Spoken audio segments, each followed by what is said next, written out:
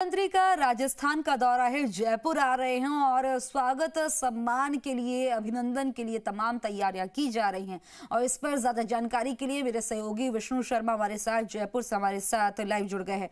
विष्णु किस तरह की तैयारी प्रधानमंत्री के आगमन को लेकर की गई है? अब बिल्कुल कुछ भी बता दें कि प्रधानमंत्री का दौरा यूँ तो सरकारी है क्योंकि हम्म। यहाँ पर पाँच से सात जनवरी तक देश भर के डीजी आईजी एटीएस और एसओजी के अधिकारी रहेंगे। हम्म। क्योंकि पूरे देश भर के अधिकारी रहेंगे मंथन चलेगा तीन दिन तक कानून व्यवस्था और उसको लेकर।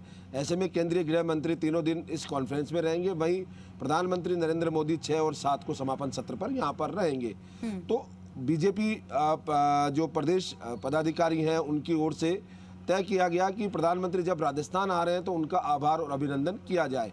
क्योंकि प्रधानमंत्री मोदी के नेतृत्व या चेहरे पर ही चुनाव लड़ा गया और वो जीता गया तो ऐसे में उनका आभार जताने के लिए यहाँ पर तैयारियाँ की गई है और इसको लेकर आज बैठक हुई बीजेपी प्रदेश कार्यालय में चुनाव प्रबंधन समिति के जो संयोजक हैं हम्म। नारायण पंचारिया उनके नेतृत्व में बैठक हुई और उसमें विभिन्न मोर्चों के पदाधिकारी के साथ चाहे अल्पसंख्यक मोर्चा हो एसटी मोर्चा हो एससी मोर्चा हो या महिला मोर्चा हो इनके पदाधिकारी बैठक में रहे वहीं जो बीजेपी प्रदेश संगठन के प्रभारी जो पदाधिकारी हैं वो उस बैठक में रहे।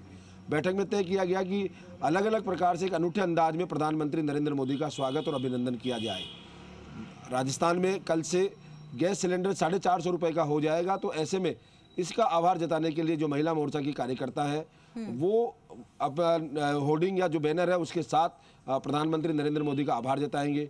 वहीं 2024 में राम मंदिर बन रहा है भव्य राम मंदिर बन रहा है उसके आभार जताने के लिए महिलाएँ जो है महिला मोर्चा की कार्यकर्ता हैं वो मंगल कलश के साथ एक कलश यात्रा के रूप में वहाँ उनका सड़क के दोनों ओर प्रधानमंत्री का अभिनंदन करेंगी इसके अलावा स्कूली जो छात्राएँ हैं वो बेटी बचाओ बेटी पढ़ाओ के अभियान के तहत वहाँ प्रधानमंत्री नरेंद्र मोदी को धन्यवाद ज्ञापित करेंगी हम्म। इसके अलावा एसटी और एससी मोर्चा के साथ ही अल्पसंख्यक मोर्चा अपनी अपनी पारंपरिक वेशभूषा में सड़क के दोनों रह और खड़े होंगे और प्रधानमंत्री का अभिवादन अभिनंदन करेंगे। कुल मिला के बीजेपी की ओर से ये अभियान शुरू किया गया। इसके अलावा बीजेपी की ओर से स्वच्छता पखवाड़ा भी चलाया जा रहा है। उसमें शाह और मोदी के दौरे से पहले पूरे जयपुर शहर को साफ़ किया जाएगा। दो जनवरी से चार जनवरी तक ये अभियान चला जाएगा। जी। विष्णु तमाम जानकारी देने के लिए आपका बहुत बहुत शुक्रिया।